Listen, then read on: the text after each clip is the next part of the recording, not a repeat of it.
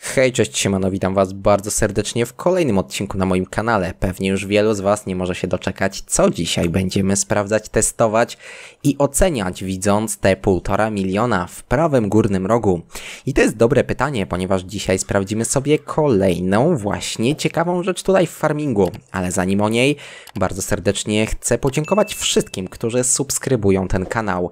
Ponad 85% osób, właściwie moich widzów, to nie są subskrybenci i bardzo bym Was prosił o to, żeby odwrócić nieco tę tendencję, czyli po prostu, jeżeli jeszcze nie subskrybujesz kanału, zrób to koniecznie. Wesprzesz mnie delikatnie, a przy okazji sam pozostaniesz na bieżąco z wieloma ciekawymi materiałami dotyczącymi nowego farminga 22. No to przechodzimy dzisiaj do tematu. W poprzednim odcinku, tym specjalnym, nie standardowym, tylko tym specjalnym, pokazałem Wam, jak bardzo się opłaca tak naprawdę fotowoltaika oraz druga rzecz, czy warto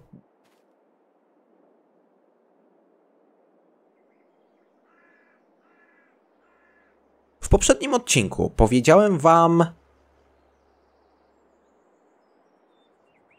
W poprzednim odcinku pokazałem Wam, czy fotowoltaika jest uzależniona od, moi drodzy, pogody. Mianowicie, czy zyski z fotowoltaiki są zależne od tego, jaka jest pora roku, jaka jest pogoda, czy są chmury, czy leje deszcz, czy pada śnieg. I zrobiłem dla Was właśnie taki raport. Udowodniliśmy sobie, że fotowoltaika jest bardzo zależna od pogody. No i moi drodzy, dziś to samo zrobimy sobie z wiatrakami. Także przede wszystkim będę potrzebował najpierw kupić jakiś teren. No to, żeby nie, nie szukać daleko, kupię sobie coś tutaj blisko, czyli kupię sobie pole numer. A nie to. Kupię pole numer 37, żeby sobie tutaj coś postawić. Dobrze, postawiłem moi drodzy, więc teraz lecimy sobie tutaj i kupię za pieniądze, które tutaj mam wiatraczki. No to lećmy tak, produkcja, generatory. No i tak, przede wszystkim możemy mieć dużą turbinę wiatrową. Jak widzicie, przychód z niej to jest 60 67 680 euro miesięcznie. Przynajmniej tyle być powinno. A ile będzie? Kupmy sobie jeden. Na drugi już nas nie stać, więc kupmy sobie ten mniejszy wiatraczek. Powiedzmy, rzućmy go tutaj. Trzeci wiatraczek kupmy sobie, wiecie co, taki malutki. Ale to jest malutkie. Dobra, zróbmy sobie raz. Postawmy sobie te dwa małe i wiecie co sobie jeszcze postawię? Kupię sobie domek, czyli przyczepę kempingową, którą tam wiecie. Tu się można wyspać. Mam nadzieję, że na tej mapie będzie już stała na ziemi, a nie w powietrzu jak na mapie alpejskiej. E, jeżeli nie oglądałeś jeszcze odcinka o tym, jak to wszystko stawiałem na alpejskiej mapie, no to koniecznie zobacz, koniecznie się przekonaj, żebyś wiedział po prostu o czym mówię. Natomiast ta turbina mniejsza, właściwie ta turbina średnia, powiedzmy, dla mnie wygląda dość specyficznie. Po pierwsze, ten Masz, na którym ona stoi, jest z taką drabiną i zaraz sprawdzę, czy mogę tam wejść. Po drugie, mamy wirnik, który jest dwułopatowy. Nie tak jak ten trójłopatowy, trzy łopaty ma ten większy wiatrak, a ten ma tylko dwie i on wygląda tak troszkę karykaturalnie, jeżeli mam być szczery, natomiast ta mała turbina gdzieś schowała się w wietrze w tym całym naszym polu, więc nawet jej teraz dobrze nie widać. No jest tam, stoi, ale wiecie co? Ja najpierw chcę sprawdzić, czy jestem w stanie tu wejść. Bo to jest pytanie, które może być... Ha. No, jeszcze, jeszcze, kurczę, jakby się uprzeć, to kurczę, da się tu wchodzić. No powolutku, pomalutku, ale zobaczcie, ja jestem sporo nad ziemią. E, to wiecie co? To na początek robimy inny eksperyment. Na początek, moi drodzy, sobie spróbujemy tu wejść. Ile do końca? Jeszcze trochę. A kurczę, da się, da się powoli, tylko tak wiecie, trzeba podskakiwać i w, nie w każdym momencie się da, ale... Aj, spadłem. Kurczę, no ale gdzieś do połowy wlazłem, więc jakby się uprzeć, bo widziałem przecież tą czarną kreskę, jakby się uprzeć, to śmiało możecie wejść nawet prawie na samą górę. Komu się uda? Dajcie znać w komentarzach, co o tym myślicie, aczkolwiek zobaczcie jeszcze na jedną rzecz, na tą linę, która jest liną odciągową. O ile ta lewa lina jest względnie naprężona, o tyle ta prawa lina pełni raczej funkcję ozdobnej. Ja bym się bał tutaj stać. Serio. Czy ona, ta lina jest jakoś tutaj przytwierdzona? Nie, no ona tylko tak w ziemię wchodzi. Dobra, nieistotne. Ten duży wiatrak wygląda w ten sposób. Oczywiście do niego w żaden sposób nie jesteśmy w stanie wejść. Już Wam to pokażę. Możemy sobie dojść tutaj. To są drzwiczki, których w żaden sposób nie jesteśmy w stanie otworzyć. Chyba, że przyjedziemy czołgiem, no ale niestety czołgu tutaj w farmingu nie ma. No a tu mamy taki mini wiatraczek, który zachowuje się nieco inaczej, czyli jak widzicie, kręci się taki coś malutkie w kółko, no i produkuje prąd. Dobra, no to moi drodzy, mamy postawione wiatraczki, więc teraz idziemy sobie spać. Pierwszy raz idziemy spać, żeby zacząć zarabiać od jakiegoś jednego dnia. Możemy wstawać o 8 rano, wygląda to bardzo w porządku. No to zobaczymy, ile zarobimy. Chcę wiedzieć, czy wiatr, czy właściwie a te wszystkie wiatraki będą produkować różną ilość prądu w ciągu różnych miesięcy, czyli inaczej mówiąc, czy wiatr wieje z różną siłą i czy ma on realny wpływ na nasze zarobki z elektrowni wiatrowej. Jak widzicie, będziemy to robić tutaj w gospodarstwie, w tym menu właściwie podsumowania gospodarstwa. Zarobiliśmy w sierpniu 8800 euro, ale nie jest to miarodajny wynik, ponieważ te wszystkie wiatraki nie pracowały od początku dnia, więc ten wynik musimy pominąć. Idziemy zatem dalej, więc idę sobie spać. Wrzesień, moi drodzy, to jest pierwszy miesiąc, który przyniesie nam miarodajny wynik.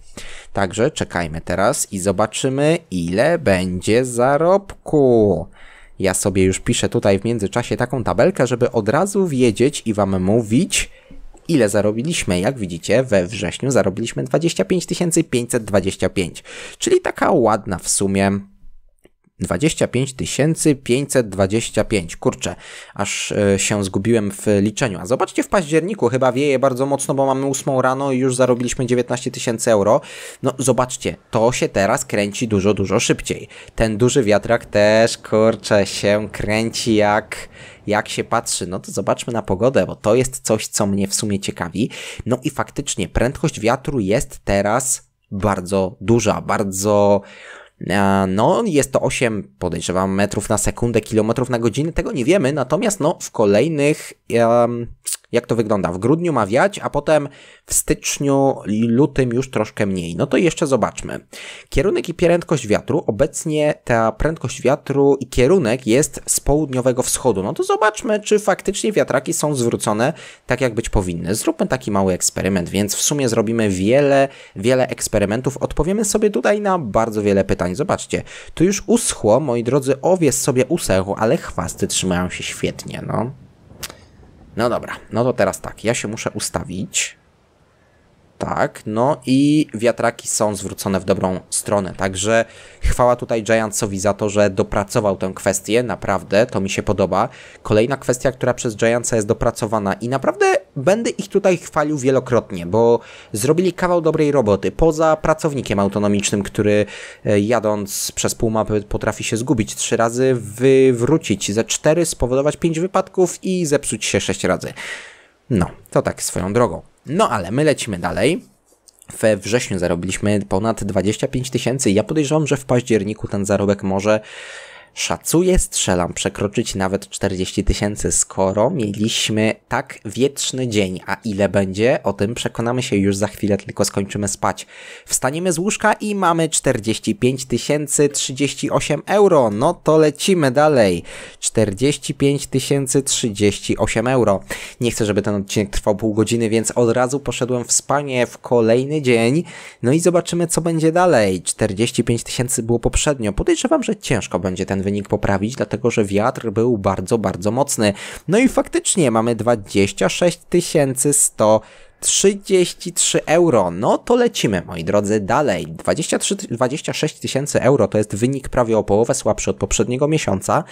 No, czyli wniosek z tego taki, że wydając praktycznie całe pieniądze, które mieliśmy na wiatraki, zarabiamy niewiele. Zarabiamy naprawdę niewiele, ponieważ zobaczcie, zarobiliśmy 18 325 euro, a na wiatraki wydałem, moi drodzy, mniej więcej milion euro. No to może nie całą kasę, ale no mimo wszystko, wydając milion, myślałem, że będziemy zarabiać nieco, nieco więcej. Jeśli chodzi o fotowoltaikę, wydaje mi się, że na niej zarobki są znacznie większe. Dodatkowo tą fotowoltaikę też można puścić i ustawić według mnie w bardziej przystępnych miejscach, no ale to już jest kwestia dyskusyjna. W styczniu zarobiliśmy 23 706 euro. Zwróćcie uwagę teraz na ikonkę tego śpiącego ludzika, Zobaczcie, jak rusza się te, to łóżeczko. Tego nie było chyba wcześniej. Zobaczcie, jak tak idzie góra, dół, góra, dół, góra, dół. Naprawdę fajnie to wygląda. To taka ciekawostka. Nie wiem, czy zwróciliście na to uwagę wcześniej. Właśnie w farmingu ta ikonka się rusza i to też jest coś, co naprawdę zasługuje na ogromną, ogromną pochwałę właśnie w stronę Giantsa. 28 313 euro. Tyle zarobiliśmy w lutym. No to idziemy spać. Idziemy spać jak niedźwiedź polarny, kurczę, czy tam niedźwiedź jakiś brunatny. Idziemy spać i obudzimy się za miesiąc miesiąc. Ale w grze to jest jeden dzień, więc nie ma co się zastanawiać. Lecimy dalej. W marcu będzie, zobaczymy ile, jaka była pogoda wietrzna. Wiało czy nie wiało? Generalnie na wiosnę raczej wieje, no ale tutaj w grze nie wiało prawie wcale i zarobiliśmy 18 475 euro, więc mało. Zobaczmy jak kręcą się te wiatraczki. No zobaczcie, że one kręcą się teraz znacznie wolniej od tego, co było wcześniej. Także też kolejna pochwała dla Giantsa. Im szybciej wieje, tym właściwie im mocniej wieje, tym szybciej kręcą się te wiatraczki. No to kolejna bardzo dopracowana rzecz. Aż dziwię się, że ten pracownik jest w tak upośledzonej formie, bo to tak kontrastuje z tymi naprawdę świetnie dopracowanymi elementami. Coś, co. No nie wiem.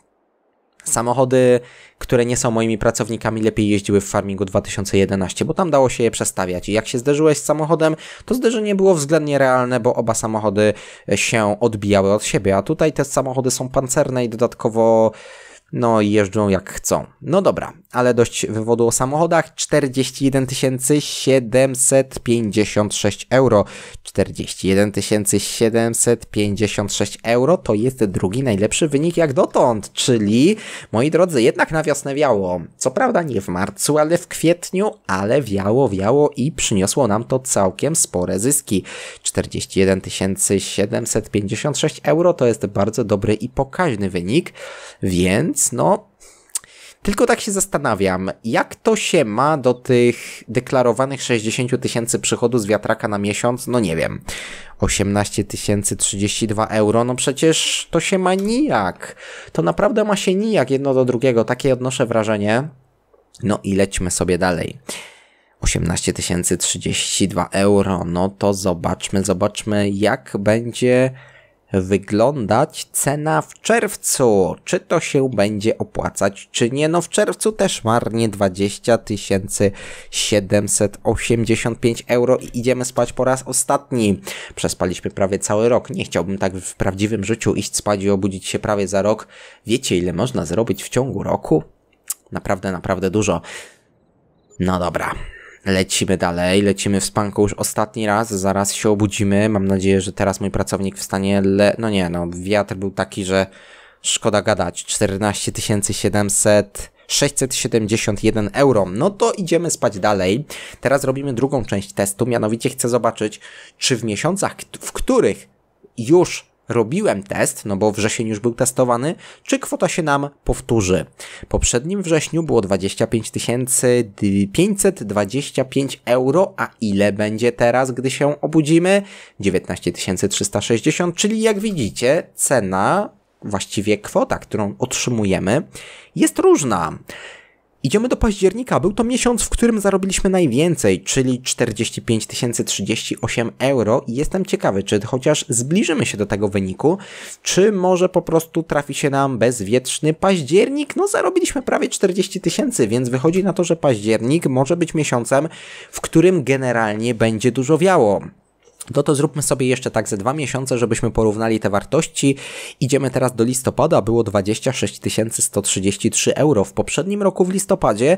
No a ile będzie w tym roku? Czy przekroczymy? Ojej, zobaczcie, 45 496 euro to jest rekord. To jest, moi drodzy, rekord wszechczasów w tym momencie. Poprzedni wynik poprawiony o no grubo ponad 17 tysięcy euro, czyli jak widzicie, jeżeli wieje, jeżeli mamy prognozy, że będzie wiało, to możemy spodziewać się ogromnych zysków z wiatru. Natomiast no jeżeli nie wieje i jest takie ciepłe, gorące lato albo nudna, bezwietrzna zima, no to automatycznie zarobki są mniejsze, ale jak widzicie w listopadzie, czekajcie, teraz mamy grudzień, czyli to były zarobki za listopad. Wniosek z tego taki, że e, źle popatrzyłem i w takim razie jeszcze raz. No tak.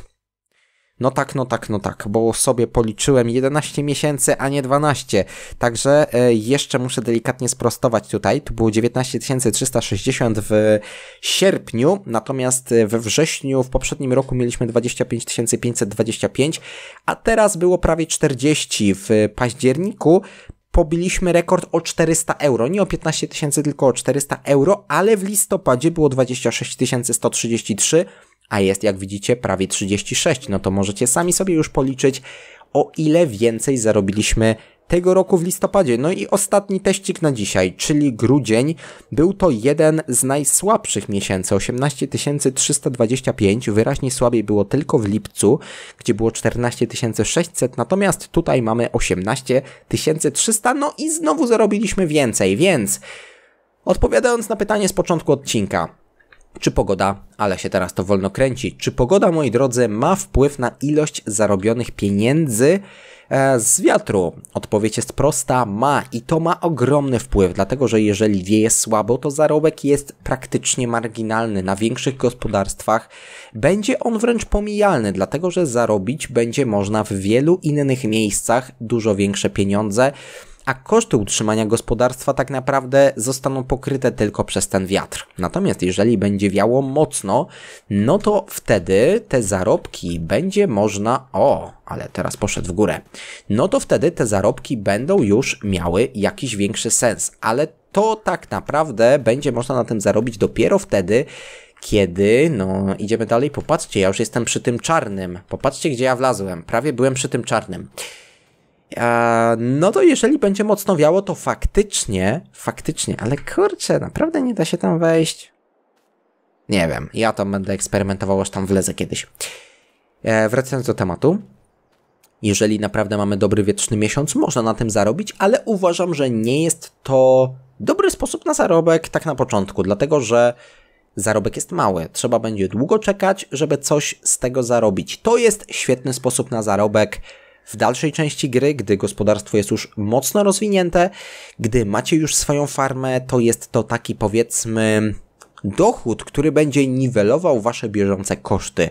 I jeżeli potraktujemy to w ten sposób, to uważam, że tego typu mm, tak naprawdę to tego typu zastosowanie tych wiatraków będzie miało świetne, świetne zastosowanie. O, tego typu sposób na zastosowanie będzie po prostu świetny. Natomiast jeżeli chodzi o robienie biznesu z wiatraków, ciężko. Uważam, że to się nie opłaci. Uważam, że jest mnóstwo innych, lepszych pomysłów, które można zrealizować, żeby się dorobić. I nie mówię tutaj o jakimś kombinowaniu, oszukiwaniu, znajdowaniu haków i tak dalej, tylko po prostu o wykorzystaniu mechaniki gry. Na przykład ostatnio przetestowałem owce i ubrania. Uważam, że to jest dużo lepszy sposób, ale on i tak nie jest idealny. Na szklarniach można się dorobić znacznie, znacznie więcej przy niewielkim nakładzie pracy i przy przede wszystkim dużo mniejszym wkładzie finansowym. No dobra, zbliżamy się do końca. Odpowiedzieliśmy sobie na pytanie, że przychody nie są stałe, że jeżeli nie wieje, to przychodów praktycznie nie ma, czyli jest praktycznie tak jak w życiu codziennym. Bardzo dobrze, bardzo dobrze, Giants, brawo.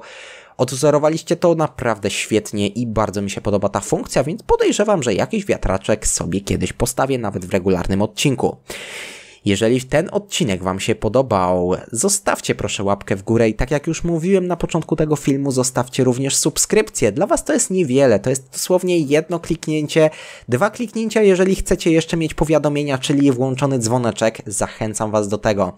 Dla Was to jest niewiele, a mnie naprawdę po pozwoli bardzo pomóc i też zwiększyć troszeczkę zasięgi tych filmów.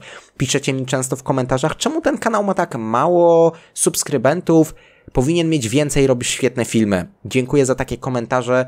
Kanał jest nowy, więc żeby troszeczkę go wybić, potrzebuję Was, potrzebuję Waszych subskrypcji, więc bardzo Was proszę o to, zostawcie suba, i tak jak już mówiłem, jak przekroczymy tysiąc subów, przygotuję coś specjalnego. Mam nadzieję, zrobię sobie live'a. Może nawet z wami, z widzami za jakiś czas też takie coś będzie. Natomiast e, myślę, że dajcie znać w komentarzu też, co myślicie o ewentualnym live'ie na kanale i gwarantuję, za tysiąc subskrypcji coś wam przygotuję ekstra. Na razie bardzo serdecznie wam dziękuję. Do zobaczenia w kolejnych materiałach. Lajkujcie, komentujcie, subskrybujcie. Cześć!